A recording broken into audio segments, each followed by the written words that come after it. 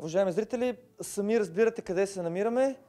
В дома на марката, която направи Рафаел Надал известен и благодарение на която, с която Рафа покоряваше толкова дълги години световния тенис и съответно ще направим преход и към неговия наследник, защото мнозина твърдяха, че Карлос Алкарас е прекия наследник на Рафа Надал. Той се опитва да избяга от сянката, но когато си номер едно, всъщност за каква сянка да говорим? Ето го, настоящия номер едно, с новото му оръжие и това е една от основните теми, за които ще си говорим в днешния ден, заедно с представителя на Баболат за България, или поне така познати Мишо Баболат. Не знам, Мишо, здравей. Здравей, Много ти благодаря, че ни покани в твоя втори дом, предполагам, защото Точно знам, че тук е скарал страшно много време. Как си първо? Много добре, благодаря. След а, прекрасните новини, които донесе а, този младеж и бъдещ, а, надявам се, дългогодишен номер едно и а, шампион на тура Алкарас, как да се чувствам? Перфектно. Тук сме, уважаеми зрители, за две неща. За да ви представим всъщност защо и, и благодарение на какво Карлос Алкарас стана номер едно в света. И всъщност Мишо ни се обади с предложение да ви зарадваме вас, зрителите на Макспорт, на Breakpoint с нещо много, много ценно. Мишо, предлагам ти направо да анонсираме твоята идея. Уважаеми зрители, всеки от вас, който участва в играта Познай финалистите в ефира на Макспорт и използва фейсбук страницата на Breakpoint, ако поне веднъж до края на годината е познал един от финалистите в турнирите, които се излучват в ефира на Макспорт, ще има възможността да участва ето за това прекрасно нещо. Вижте за какво става въпрос. Това не е котията на Пандора, това е котията на красотата. Новата ракета на световния номер едно Карлос Алкарас може да бъде ваша. Подарък от Баболат, специално за зрителите на Макспорт и приятелите на Брекпойнт. И тук вече давам думата на Мишо да разкаже малко повече. Първо искам ти благодаря за жеста, който правиш и към нас и към нашите зрители и да разкажеш малко повече за това прекрасно нещо. Нямам търпение, аз искам да го хвана, да го размахам в ръце, но няма да го направя. Не, ако искаш, можем да го извадим, да го покажем на зрителите и да разкажеш повече за него. Може, той в котията също а, доста добре а, ще се види. Значи това е новото оръжие на Карлос Алкарас и на съответно на Феликс Оже Алиасим. А, тази ракета като модел дъл, дълги години а, играеше а, Рафа Надал, а, но тази специално е направена за тези двама а, как да кажа, топ спортисти.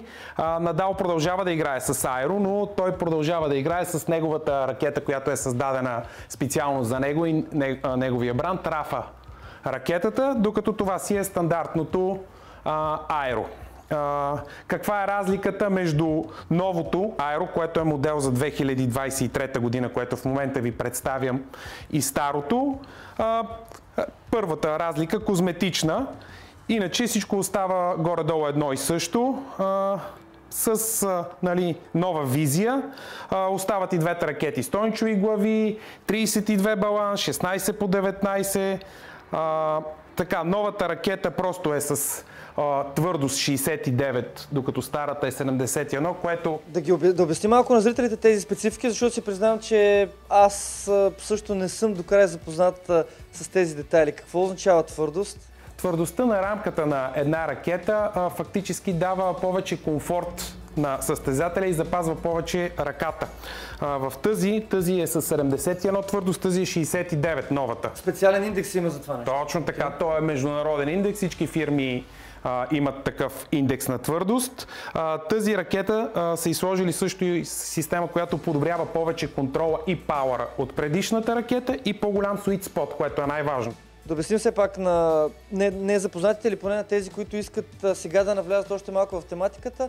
Тази ракета е по-щадяща, sweet spot да господа, Това е знаете, идеалният център, така идеалният да се център, ако е тук на, на повечето много професионални ракети, на тази може да е по-широк, дава ви повече добро чувство, компенсира някои неточни удари и ви помага да сте по Все едно удареш перфектния център, да. както се казва, както един професионален тенисист от 1000 удара, примерно ще удари тук 950, докато примерно един любител ще удари да речеме 200 или 300 примерно. Това е общо взето като нова. Тази ракета е предоставям на предаването Breakpoint, който, което е най-доброто тенис предаване в България, свързано с тениса, като а, награда за а, зрителите. А, мисля, че това е много добра и хубава награда. Пак ви казвам, това е модел, който е за 2023 година, който още реално погледнато не е, той е за каталозите за от януари 2023 ще не е бъде налична. На. В момента е на пазара, ние като дистрибутор на Баболат за България, фирмата Arc Dream, която имаме а, два офиса в а, София и Варна и сме на разположение на всички наши клиенти, а, с които работим. Тенис треньори, тенис клубове, Може да интернет тества? сайтове. Разбира се, имаме и тестова ракета, а, която примерно, ако не сте сигурен в а, дали тази ракета ще ви пасне, може да ви дадем тестова ракета, използва се в рамките на 1 до 2 дена се тества, завръща се и така. Това е като а, значи, а, всичките а, професионални ракети, както знаят вашите зрители, се продават без кордажи, поради простата причина, че а, кордажът, всеки един тенисист играе с различен кордаж, наплита ракетата на различни кордажи, като Баболат от 94-та година правят ракети. А, и са станали световен лидер в, а, в това нещо, като те са известни, те са изобретили натуралния кордаж още в преди 130 години, а, като Баболат е световен лидер в кордажите в цял свят, като с тях играят не само контрактни състезатели на Баболат, но и редица а, състезатели при мъжете, при жените и така нататък. Виждам, че при теб можеш да се оборудваш изцяло. Аз си признавам, че а, през годините имах сантименти към друга конкурентна компания, защото първата ми ракета 90 и може би втора година Да, беше така специална. Обаче, няма да ви лъжа, уважаеми зрители, от две години може би ти ми даде Аерото на Надал. аерото на Надал, да, е, е, е тази Стандартното жълтата. жълто-черното. Абе, стандартно жълто, ама да ти кажа, че на, на, на, на, на моите турнири за моето ниво, аматьорските, мисля, че имам една-две загуби. Така че Е, колко да е стандартна. Да, нали? А, не, че е време за реклама, но съм на още един финал на турнирите на интерактив тенис. Така, затова ще стане въпрос малко по-късно в преданието. Там очаквам да ме пребият като куче, ама все пак Не не, мога да, не, не мога да биеш винаги. Идеята ми е, че фирмата се развива очевидно, Баблат като цяло, вие, вие също с, а, с много, много мисъл за клиента. Не само за професионалния обаче. Много сапорт, много сапорт. Може да дадем, а, когато примерно треньора изпрати своя клиент и той дойде тук, можем да наплетем на професионална машина неговата ракета на необходимите килограми. А, може да дадем консултация за самата ракета, когато клиента примерно а, има недостиг на информация, примерно, ние го разпитваме и по този начин се получават нещата, за да могат да се случат е, да се случи така да се каже магията и всеки да избере необходимата за, за него ракета, се чувства добре. Добре, а казваш магията. В време сме, в което Роджер Федерер се отказва. Не мога да не те питам а, за това нещо, защото дилемата кой е най-великият, по-скоро въпросът стои винаги и ще остане така. Сега ти си пристрастен, няма, няма как да не... Абсолютно, абсолютно съм пристрастен. Федерер е велик, но Надал е най-великия. Защо тогава, според теб? Ами, няма как... Вътрешно усещане. М, Няма как да не е така. Той е човека, който фактически, дет се казва на жаргон, ни дава хляб. А, а, просто всеки, всеки представител на, необход... на неговата марка, да не споменавам другите фирми конкурентни, те също предполагам а, за всеки един от тях, а, техните идоли, които са трима, а, си е номер едно. Нормално е според мен. Безспорно Федерер е маестрото, както се казва, но за мен е номер едно си е надал и винаги ще бъде. Аз ще подходя по-толерантно и ще кажа, че всеки от тримата велики, защото Мъри направи немалко важни неща в тази ера, но тези тримата изпъкват със сигурност.